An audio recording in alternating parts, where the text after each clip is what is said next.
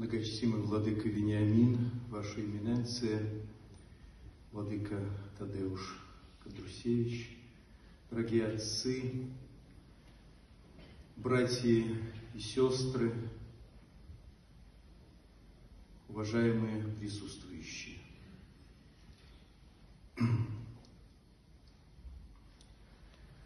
Мир держится на личностях тех людей, кто умеет говорить с Богом. Страны и народы существуют до тех пор, пока в них живут те, кто умеет говорить с Богом. Школы, институты, предприятия образуются не только потому, что туда назначают руководителей, они образуются вокруг личностей. Даже успех оркестров и хоров зависит исключительно от дирижеров. А в основании личности человека всегда лежит образ Божий и достоинство богоподобия.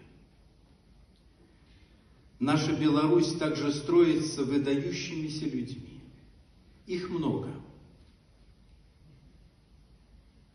И одним из них, не хочу говорить в прошлом времени, является митрополит Филарет. Он человек-эпоха. Он видел запустение церкви и приложил невозможное простому смертному усилие, чтобы православная церковь возродилась. Он шел против течения, но никогда против людей. Он уважал каждого. Он видел эпоху атеизма, оттепели и заморозков, перестройки, распада великой страны 90-х и благополучных нулевых он переживал и за 2020 год. География мест, где бывал владыка, измеряется тысячами километров и простирается на пол земного шара. Количество людей, с которыми встретился за свою жизнь архипастырь исчислить невозможно. И каждый человек был им привечен. Вглядываясь в его личность, можно сказать, что он и один в поле воин, если он воин Христов. Владыка был воином Христа и слугой Господа. Слуга, обладающий властью любви.